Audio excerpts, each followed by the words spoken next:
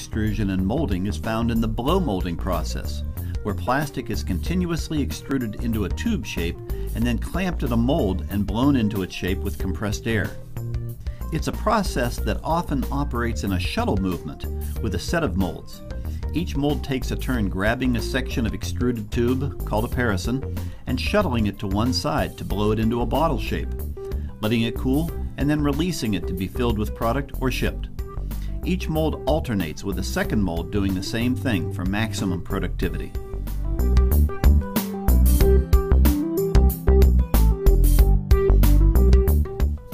The same blow molding process can also utilize multiple extruders for what is called co-extrusion.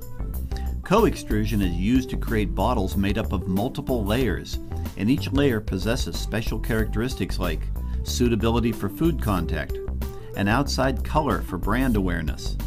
ultraviolet light protection for long shelf life of the product, a layer of regrind for economical reuse of scrap, and many times barrier and adhesive layers are included to separate and bond the layers for a tough, cohesive bottle. A high volume form of blow molding uses many molds mounted onto a continuously rotating wheel mechanism.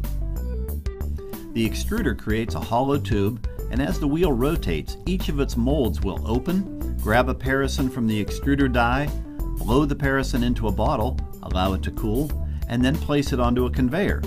producing a continuous stream of finished bottles originating from that continuous flow of plastic from the extruder.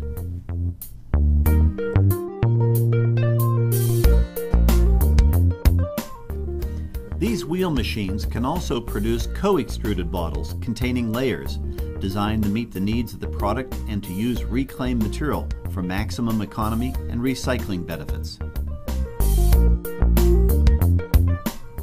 The very popular sales of plastic bottles for carbonated beverages has created a unique process for blow molded bottles made specifically from polyethylene terephthalate, or PET. For PET blow molding, bottles are first created in a test tube shape, injection molded preform, and then, in a separate operation, reheated and blown into their final shape.